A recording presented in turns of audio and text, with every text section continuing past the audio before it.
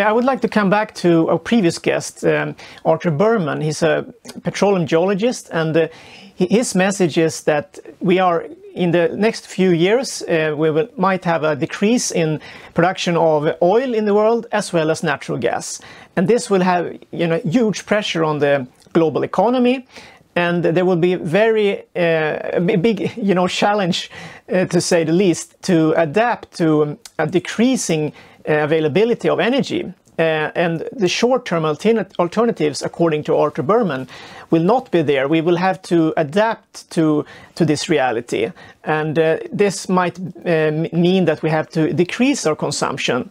Uh, he says that we should invest in renewables, definitely, but we also have to be realistic about the energy reality. I would like to hear what you th think about this, and I know that we mentioned in the, in the previous episode that this technology you are providing in only three months you could uh, you, mean, you know, provide a production line, I think you said. Um, so yeah. Yes, if we start this by reducing the energy consumption, I think when you look at the food and beverage industry, it's hard to think that people will use less food and beverage just because the oil is getting restricted or that people in, in countries that is growing like Nigeria or India, where people are getting more and more money, that they would not buy uh, refined food and beverage. So I think the food and beverage industry will continue to grow. The energy consumption in the food and beverage industry, it's already quite uh, efficient. We find somewhere sometimes that you could make it more efficient, but basically you need this heat to pasteurize the milk and to to clean the bottles and everything. So I think in the food and beverage industry, you actually need to go away from fossil fuel and find this heat somewhere else. So, but we also find in, in some other industries that this energy efficiency is, is far away. For example, we work in the tea industry, and to dry one ton of tea, you burn five tons of firewood. But here you can make the burning of firewood more efficient, and you can at least cut it by half if you combine firewood with solar thermal and reduce the energy consumption in this drying process. So there are uh, savings also.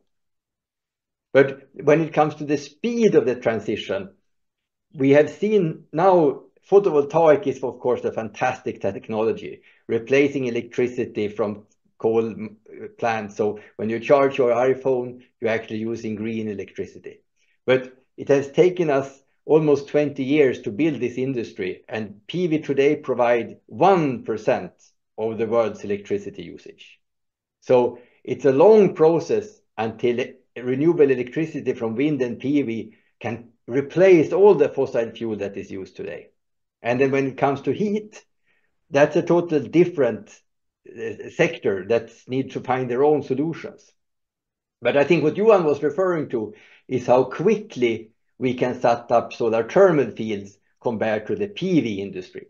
Because the PV industry, when you need to double the PV industry, there is a very expensive uh, uh, supply line from the mines doing the silicon and this very difficult refinery refinery doing super clean um, silicon, and then all the other different processes until you get a PV panel. But our solar collectors, it's basically some steel and some glass. You get the parabolic shape that the incoming sun is focused on this narrow pipe in the center, and suddenly you have 160 degree hot heat and steam that you both can use directly in your industry or you can store it from summer to winter. So the material that we need to make the solar collectors, it has only three months energy payback time. While a PV panel or a windmill, it have two to four years energy payback time. So we need very little raw material to produce an enormous amount of heat when we do the heat conversion directly. And that is partly because we have 76.4% efficiency compared to PV that might have 18, 20. But uh, let's say you live in the US, uh, uh, they don't have, as I understand it, that kind of district heating systems we have. Um, they burn natural gas, basically. Um, mostly. And uh, so, so how could they make use of either it's you know we're talking about your kind of technology with solar heaters or some other alternatives to replace this? Mm. Uh, one big uh, district heating uh, used in the US are all the university campuses.